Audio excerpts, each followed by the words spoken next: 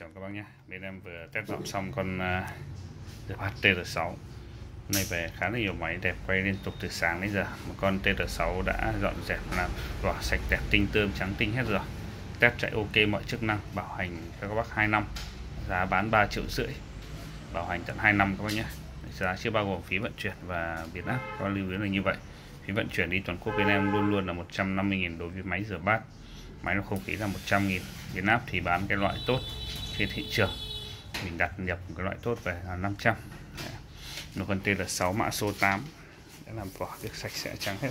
Lưng tôn thành vách phẳng phiu đẹp, sạch. Sạch sẽ các bạn nhé.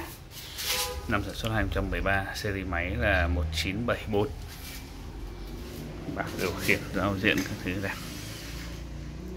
TR6 tất cả máy rửa bát đều có mã các bác nhé. Eco Navi hẹn giờ. Thời gian sấy 30 45 phút, nếu bấm theo này kèm giữ khô bát đũa. Chế độ rửa tiêu chuẩn, kèm nước nóng 80 độ C. Rửa mạnh, kèm nước nóng 80 độ. Này. vệ sinh máy, các kiểu luôn các bạn lần lượt bấm chạy này các bạn nhé. Chế độ chỉ sấy này. Chỉ sấy nhé. Không rửa, chỉ sấy, chọn thời gian sấy. Dạ đèn eco này chỉ sáng khi mà các bác để chế độ tiêu chuẩn thôi nhé. Đây. bình thường em bắn cho các bác là sẽ để thời gian sấy 30 phút, rửa tiêu chuẩn kèm nước nóng 80 độ, bấm một lần, rửa này là nó nhớ rồi tắt nguồn nguồn. Con này nội thất quá mới được quá vừa test xong, máy vẫn còn đang nóng. Nội thất rất là sạch sẽ nha.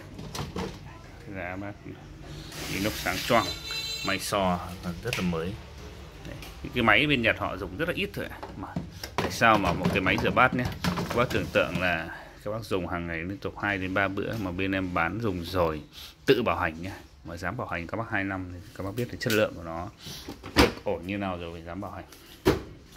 Nhiều bác hỏi lắp đặt khó không thì đây tiện cái vòi này chúng quay luôn. Đây các bác chỉ có xoáy mỗi cái vòi này và ống một ống à, cấp, ống thoát.